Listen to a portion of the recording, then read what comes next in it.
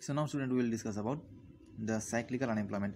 Cyclical unemployment is the most common type of unemployment uh, which uh, we see mostly in developed countries.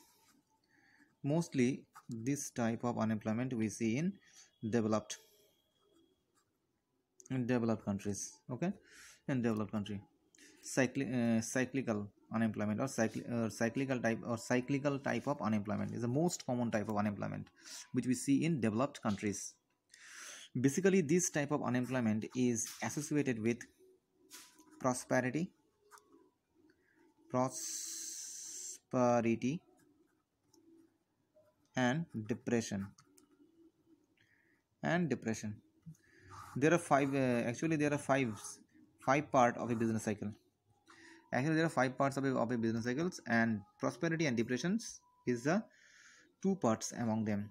Okay prosperity and depression. Every uh, um, uh, country we see the uh, we see there is a prosperity in business and downfall that means depression of business.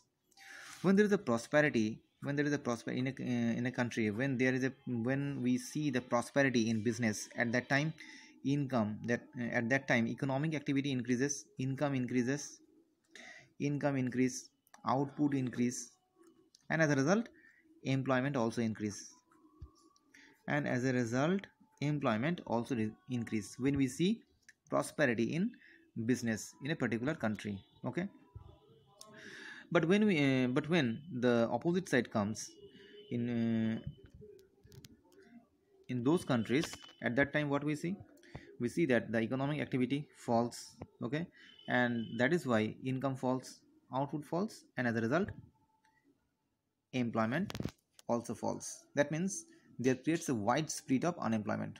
At that time there creates wide spread of unemployment. Why? Because uh, at the face of depressions because at the face of uh, at the face of depressions the uh, there is a very very small uh, very small or very uh, short short or very little economic activity we see in those countries. Okay we see very small or very little economic activity we see in depression period. And that is why if there is no if there is a very very short economic uh, activity then what will happen?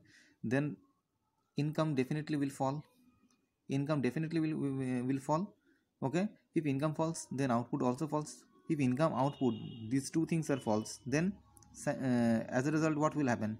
Employment will also false. So uh, what we see? We will see a widespread unemployment in those countries. So cyclical unemployment means cyclical unemployment basically we see in developed countries. What is cyclical unemployment? Cyclical unemployment is a type of business phase. It is a type of business phase in, in a particular country we see business uh, business actually circulates. First time it's increase then uh, falls then again it increases. This type of uh, cycle okay, this type of cycles we see in developed countries. So when business uh, in uh, business increases that means when business is in boom that means in prosperity at that time what we see? At that time we see economic activity increases when economic activity increases economic activity means what? Investment increases. When investment increase then what will happen? Income increase output increase employment increase. Because it's a phase of prosperity situations. But when the opposite comes that means depression comes. Depressions comes at that time what will happen? At that time what we see? Economic activity falls.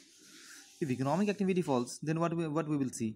Income falls output falls and as a result employment falls so in those countries at that time what we what we see? We see that there is a wide spread of unemployment rises. Okay?